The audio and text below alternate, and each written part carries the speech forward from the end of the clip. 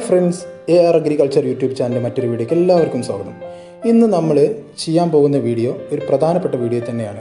മത്സ്യകൃഷിയിൽ തന്നെ പ്രധാനപ്പെട്ട ഒരു ഘടകമാണ് പി എച്ച് എന്നുള്ളത്. ആ പി എച്ചിനെ കുറിച്ചാണ് ഇന്ന് നമ്മൾ ചെയ്യുന്ന വീഡിയോ. ഈ വീഡിയോ നിങ്ങൾ അവസാനം വരെയും കാണാൻ ശ്രമിക്കുക. അപ്പോൾ നമ്മൾ കാണുന്നത് പി എച്ചിന്റെ ഒരു സൊല്യൂഷനാണ് ഈ കാണുന്നത്. മാർക്കറ്റുകളിൽ ഇത് പല വിലക്കും തന്നെ വിൽക്കപ്പെടുന്നുമുണ്ട് ഞാൻ മേടിച്ച വിലയാണ് നൂറ്റി എഴുപത് രൂപ. മാർക്കറ്റിൽ പല വിലക്കും ഇത് ലഭിക്കുന്നുണ്ട്. ഏകദേശം ഇരുന്നൂറ്റി രൂപ ഇരുപത് രൂപയുടെ ഇത് മാർക്കറ്റുകളിൽ വിൽക്കപ്പെടുന്നുണ്ട്. പക്ഷേ ഇതിന്റെ ഈ സൊല്യൂഷന്റെ മാത്രം നൂറ്റിയെട്ട് രൂപ ഇതിന് വില വരുന്നുള്ളൂ. അതിന്റെ ട്യൂബ് അടക്കമാണ് നമുക്ക് കിട്ടുന്ന വില നൂറ്റി എഴുപത് രൂപ. ഇതിന്റെ കളർ അനുസരിച്ച് ഇപ്പോൾ നമുക്ക് ഈ വീഡിയോയിൽ കാണാം ഇതിന്റെ പി എച്ചിന്റെ ഓരോരോ കള്ളികളിൽ കളർ കാണാം. ആ കളർ അട നോക്കിയിട്ടാണ് നമ്മൾ ഇതിന്റെ പി എച്ച് നോക്കുന്നത്. എന്നാൽ തന്നെ നമുക്ക് മാർക്കറ്റുകളിൽ ലഭ്യമാകുന്ന മറ്റൊരു മെഷീനുണ്ട് ഈ കാണുന്ന മെഷീൻ. അപ്പോൾ ഇത് നമുക്ക് വെള്ളത്തിൽ മുക്കിയെടുത്ത് ബട്ടൺ അമർത്തി കഴിഞ്ഞാൽ നമുക്കിതിന്റെ പി എച്ച് നോക്കിയാൽ അപ്പോൾ തന്നെ അറിയാൻ സാധിക്കും. ഈ മീറ്റർ നമുക്ക് ലഭിക്കുന്നത് ആമസോൺ അതുപോലുള്ള ഷോപ്പിങ്ങിൽ ലഭിക്കുന്നതാണ്. അപ്പോൾ നമുക്ക് ഇനി എങ്ങനെയാണ് പി എച്ച് നോക്കുന്നതെന്ന് നമുക്ക് നോക്കാം.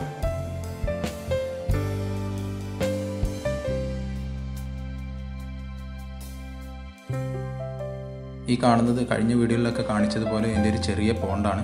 ഇതിലാണ് നമ്മൾ കഴിഞ്ഞ ബ്രീഡിങ് ചെയ്ത തിലോപ്പിയ കാണിച്ചത്. അതിൽ തന്നെ ഒരു ചെറിയ ഒരു ഗ്രോബ് ഗ്രോബ് മാതിരി ഉപയോഗിച്ച് അതിലാണ് കുഞ്ഞുങ്ങൾ നിക്ഷേപിച്ചിട്ടുള്ളത്. അപ്പോൾ നമുക്ക് പി എച്ച് നോക്കാം. ഇതുപോലുള്ള ട്യൂബാണ് നമുക്ക് ലഭിക്കുന്നത്. പിന്നെ ഒരു ചെറിയൊരു ട്യൂബ് ഇതിലേക്ക് ലിക്വിഡ് ഒഴിക്കാൻ വേണ്ടിയിട്ടുള്ളൊരു ചെറിയ ട്യൂബ് വരുന്നുണ്ട് അതെന്റെ കയ്യിൽ നിന്ന് നഷ്ടപ്പെട്ടു. അതുകൊണ്ട് തന്നെ ഞാനതിൽ തുള്ളികളായിട്ട് ഒഴിച്ചു കൊടുക്കുക ചെയ്യുന്നത്. അപ്പോൾ നമുക്ക് ഓപ്പൺ ചെയ്യാം. നല്ല ടൈറ്റായിട്ടാണ് ഇത് വെച്ചിട്ടുള്ളത്. അതുകൊണ്ട് തന്നെ ഓപ്പൺ ചെയ്യാൻ കുറച്ച് ബുദ്ധിമുട്ടുണ്ട്. വലിച്ചെടുത്ത് നോക്കാം.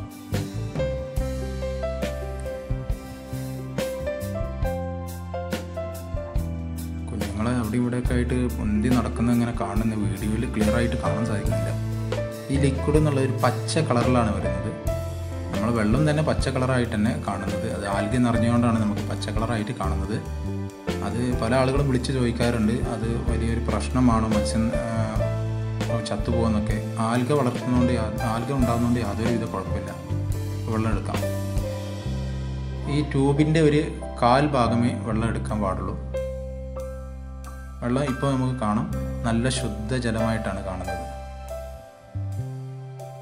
സാധാ വെള്ളത്തെ പോലെ തന്നെ നല്ല കളറിൽ തന്നെയാണ് വെള്ളം ഉള്ളത് നമുക്ക് കുളത്തിലെ പച്ച കളറായിട്ട് നമുക്ക് ആ വെള്ളം എടുക്കുമ്പോൾ നമുക്ക് കാണാൻ സാധിക്കില്ല. അത് മൊത്തത്തിൽ ആൽഗി നിറഞ്ഞത് കൊണ്ടാണ്. ലിക്വിഡ് ഒന്ന് ഒഴിച്ചു നോക്കാൻ നമുക്ക് എന്താണ് ഇതിന്റെ അപ്ഡേഷൻ എന്നുള്ളത്.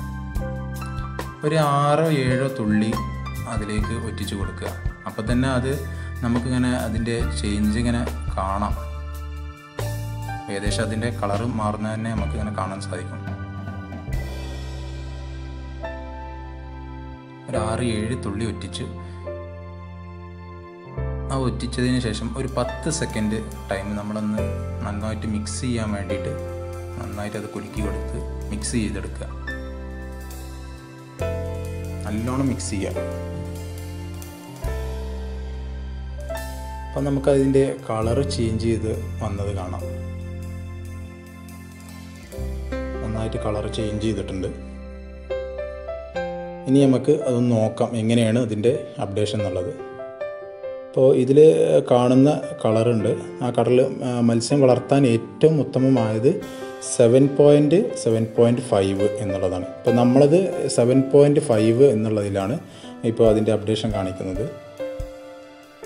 ഈ സെവൻ പോയിന്റ് ഫൈവിലൊക്കെ മത്സ്യങ്ങൾ തിലോപ്പിയ എന്നുള്ള മത്സ്യങ്ങളൊക്കെ നല്ല വളരാൻ വേണ്ടിയിട്ടുള്ളത് സെവൻ പോയിന്റ് ഫൈവ് ആണ്. Seven point seven point five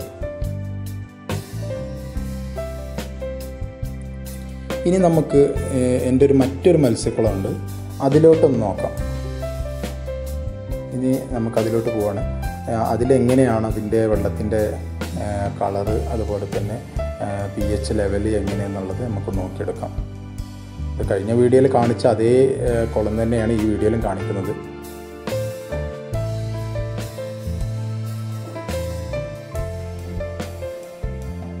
ഇതിൽ കുറച്ച് തിലോപ്പി മാത്രമേ ഉള്ളൂ. ബ്രീഡിങ് ചെയ്ത കുറച്ച് തിലോപ്പിയ. അപ്പോൾ നിന്ന് വെള്ളം എടുത്തിട്ട് നമുക്ക് നോക്കാം. ഇതും തന്നെ പ്യൂറായിട്ടുള്ള വെള്ളമാണ്. അതിലേക്കും തന്നെ നമ്മൾ ഒരു ആറ് ഏഴ് തുള്ളി ഒറ്റിച്ചു കൊടുക്കുക. എന്നിട്ട് അതും തന്നെ ഒരു പത്ത് സെക്കൻഡ് നേരം നന്നായിട്ടൊന്ന് ഇതാക്കി എടുത്താൽ നമുക്കതിന്റെ കളർ മാറുന്നത് കാണാം.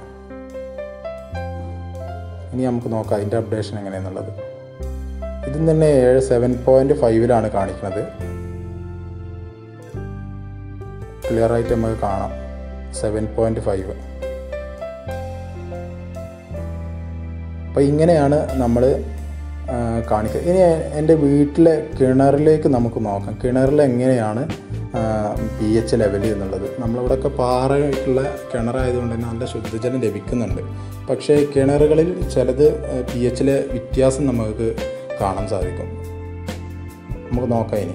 എങ്ങനെയാണ് അതിന്റെ വെള്ളത്തിന്റെ ഇത്? ഇതിപ്പോൾ കിണറ്റിലെ വെള്ളമാണ് കേട്ടോ.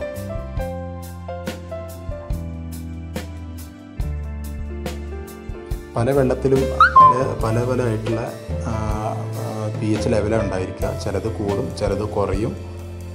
അങ്ങനെയാണ് പി എച്ചിന്റെ ലെവൽ വ്യത്യാസം ഉണ്ടായിരിക്കുക അപ്പോൾ നമ്മൾ മീറ്റർ വെച്ച് ചെക്ക് ചെയ്യണമെന്നുണ്ടെങ്കിൽ നമുക്ക് പെട്ടെന്ന് അത് അതിൽ തന്നെ അതിന്റെ ബട്ടൺ അമർത്തുമ്പോൾ തന്നെ നമുക്കത് വരും. എത്രയാണ് അതിന്റെ പി എച്ച് ലെവൽ സെവൻ ആണോ ഫോർ ആണോ ഫൈവ് ആണോ ഒക്കെ നമുക്ക് ക്ലിയർ ആയിട്ട് അതിൽ തന്നെ കിട്ടും. ഇനി നമുക്ക് ഇതിന്റെ അപ്ഡേഷൻ എങ്ങനെയൊന്ന് നോക്കാം. കിണർ തന്നെ വായോട്ടൊന്നുമില്ലാതെ മൂടിക്കിടക്കുന്ന കിണറായതുകൊണ്ട് ചിലപ്പം പി എച്ചിൽ വ്യത്യാസം വരാൻ സാധ്യതയുണ്ട്. നോക്കാം.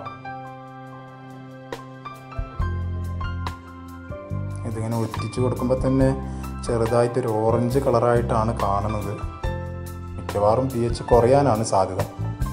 അപ്പോൾ നമുക്ക് കാണാം. ഓറഞ്ച് കളറിലാണ് നിൽക്കുന്നത്. വെള്ളം വേറെയും മറ്റേത് വേറെയായിട്ട് രണ്ട് ലെയറായിട്ട് നിൽക്കുന്നതിനെ നമുക്ക് കാണാം. ഇനി അത് നന്നായിട്ട് നമുക്കൊന്ന് മിക്സ് ചെയ്ത് നോക്കാം. മിക്സ് ചെയ്ത് കഴിഞ്ഞാൽ നമുക്കറിയാൻ സാധിക്കും അത് എങ്ങനെയാണ് എന്നുള്ളത്. അപ്പോൾ മറ്റേ വീടുകളിലൊക്കെ നമ്മൾ അത് ഒറ്റിച്ച് കൊടുക്കുമ്പോൾ തന്നെ ഫുള്ളായിട്ട് ഒറ്റിച്ച് കൊടുക്കുമ്പോൾ തന്നെ നമുക്കത് അറിയുന്നുണ്ട്.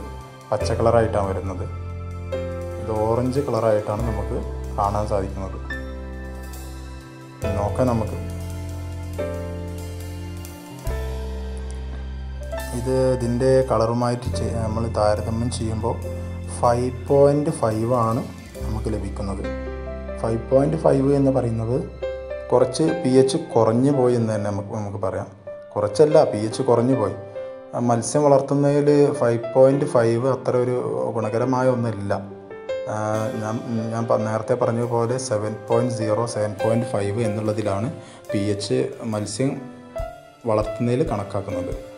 നമ്മളിൽ പല ആളുകൾക്കും അറിയാത്തൊരു കാര്യമാണ് പി എച്ച് കൂടിയാൽ എന്ത് ചെയ്യും കുറഞ്ഞാൽ എന്ത് ചെയ്യും എന്നുള്ളത്. പി എച്ച് കൂടുകയാണെങ്കിൽ നമുക്കതിലേക്ക് വിനാഗിരി ഒഴിച്ചു കൊടുത്തു കഴിഞ്ഞാൽ നമുക്ക് പി എച്ച് കുറയ്ക്കാൻ വേണ്ടി സാധിക്കും. പി എച്ച് കൂട്ടാനായാലും കുറക്കാനായാലും മാർക്കിൽ പലവിധ കെമിക്കലുകൾ ലഭ്യമാണ്. നമുക്ക് നാടൻ രൂപ രൂപത്തിൽ പറയുകയാണെങ്കിൽ കെമി ഇത് കെമിക്കൽ ഉപയോഗിക്കാതെ തന്നെ നമ്മൾ ഉപയോഗിക്കുന്നത് ഇത്. പി എച്ച് നമുക്ക് കുറഞ്ഞു പോയി കഴിഞ്ഞാൽ ചുണ്ണാമ്പ് വെള്ളത്തിൽ കലക്കി അതിലേക്ക് ഒഴിച്ചു കൊടുക്കുക. അതല്ലെങ്കിൽ ഇത്തൾ അതല്ലെങ്കിൽ നീറ്റ് കക്ക. കിഴിയിലാക്കി കെട്ടിയിട്ട് വെള്ളത്തിലേക്ക് ഇട്ട് വെച്ച് കഴിഞ്ഞാൽ പി എച്ച് കൂട്ടാൻ വേണ്ടി സാധിക്കും. കുറയ്ക്കാനാണെങ്കിൽ ഫ്രൂട്ട്സ് ഉപയോഗിച്ച് കഴിഞ്ഞാൽ ഫ്രൂട്ട്സ് ഉപയോഗിച്ച് കഴിഞ്ഞാൽ നമുക്ക് അത് പി എച്ചിന്റെ ലെവൽ കുറയ്ക്കാൻ വേണ്ടി സാധിക്കും. ഈ അറിവ് നിങ്ങൾക്ക് ഇഷ്ടപ്പെട്ടാൽ ഈ വീഡിയോ നിങ്ങൾ ഷെയർ ചെയ്യുക സബ്സ്ക്രൈബ് ചെയ്യുക. അതിനടുത്തുള്ള ബെല്ലൈക്കൺ എനേബിൾ ചെയ്താൽ നിങ്ങൾക്ക് ഞങ്ങൾ ചെയ്യുന്ന പുതിയ പുതിയ വീഡിയോകൾ നിങ്ങൾക്ക് നോട്ടിഫിക്കേഷനായിട്ട് ലഭിക്കുന്നതാണ്. ഇതിനോട് അനുബന്ധിച്ച എന്ത് സംശയങ്ങളും നിങ്ങൾക്ക് കമന്റ് ബോക്സിൽ രേഖപ്പെടുത്താവുന്നതാണ്.